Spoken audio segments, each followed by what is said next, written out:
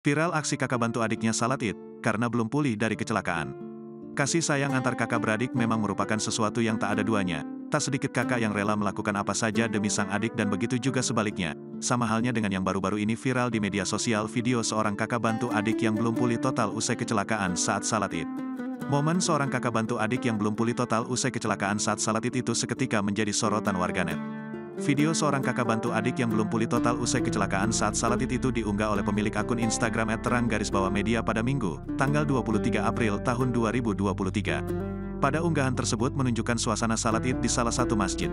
Para jamaah salat id hari itu tampak begitu khusyuk, namun lain halnya dengan yang dilakukan seorang pria.